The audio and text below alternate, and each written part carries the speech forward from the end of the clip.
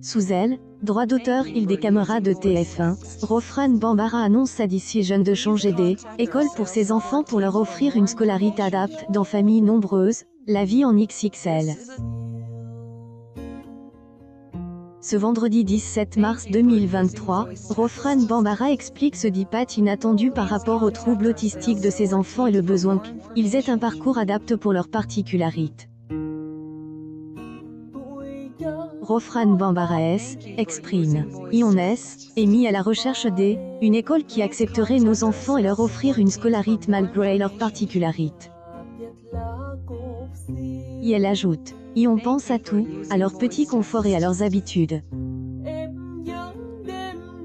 Notre inquiétude est que tout se passe bien pour eux.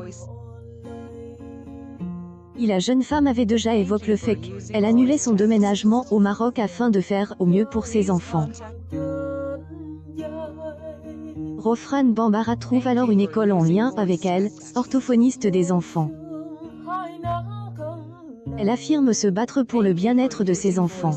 Et pour moi c'est, était cette école et est il fallait me battre et dormir à la Marie, au rectorat ou sur la lune, je elle, aurait fait, y en face caméra, la femme de Nassé craque après avoir été au rectorat face à la difficulté de la tâche traduisant elle, amour, elle a pour ses enfants.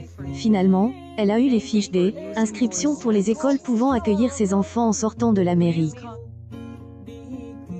Ces moments touchants ont pu compter sur la présence de 1,16 million de téléspectateurs entre 18h et 18h33, soit 10,9 EL, ensemble du public. Sur une semaine, le format connaît un repli de 2.D, audience. Elle, émission dit à celui 22 et femmes responsables des achats de moins de 50 ans.